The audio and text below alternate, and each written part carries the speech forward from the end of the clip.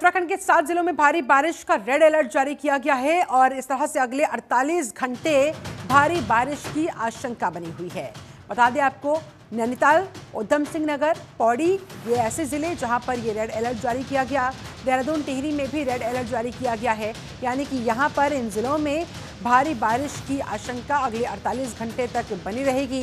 31 जुलाई के लिए, यानी कि आज के लिए स्कूलों में छुट्टी का भी ऐलान कर दिया गया है। प्रशासन ने स्कूलों में छुट्टी का ऐलान किया ताकि बच्चों को कोई दिक्कत, परेशानी ना हो। बच्चे कहीं, उनकी स्कूल वैन, स्कूल बस कहीं रास्ते में भारी बारिश की वजह से फंस ना जाए, उनकी जान पर ना बनने पाए, कोई हादसा ना होने पाए, इसके मद्देनज़र एहतियातन ये कदम उठाया गया है। आज तमाम स्कूलों को इन जिलों में बंद कर दिया गया है।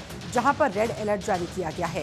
रेड अलर्ट का मतलब है कि अगले न सिर्फ़ 24 बल्कि अगले 48 घंटे, यानी कि अगले दो दिन, लगातार भारी बारिश होने की आशंका के मद्देनजर लोगों को एहतियात बरतने के लिए कह दिया जाता है। उनसे अपील की जाती है। रेड अलर्ट का मतलब ये होता है कि वो सतर्क हो जाए। कभी भी किसी तरह की अगर परिस्थिति कोई उत्पन्न होती है तो उससे डील करने के लिए वो तैयार रहे। इसके अलावा प्रशासन ने एहतियातन स्कूलों में भी छुट्टी का आज ऐलान कर दिया है।